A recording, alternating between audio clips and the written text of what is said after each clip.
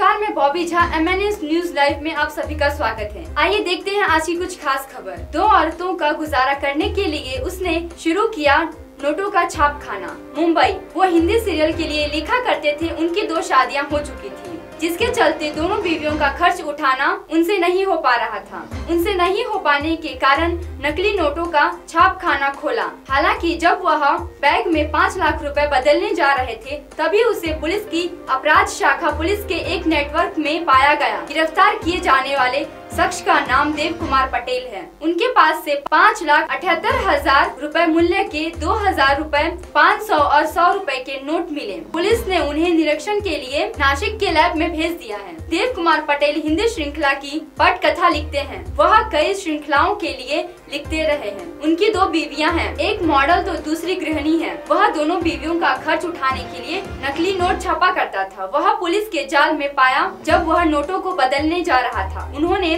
कुछ नोटों को इस्तेमाल मध्य प्रदेश में किया। ग्रामीण हिस्सा होने के बारे में कोई कोई पुष्टि न हो पाई। आगे की जानकारी पुलिस कर रही है एस न्यूज़ लाइव की खबर देखने के लिए आज ही प्ले स्टोर से एम हिंदी ऐप डाउनलोड करें और हमारे चैनल को सब्सक्राइब करें। धन्यवाद।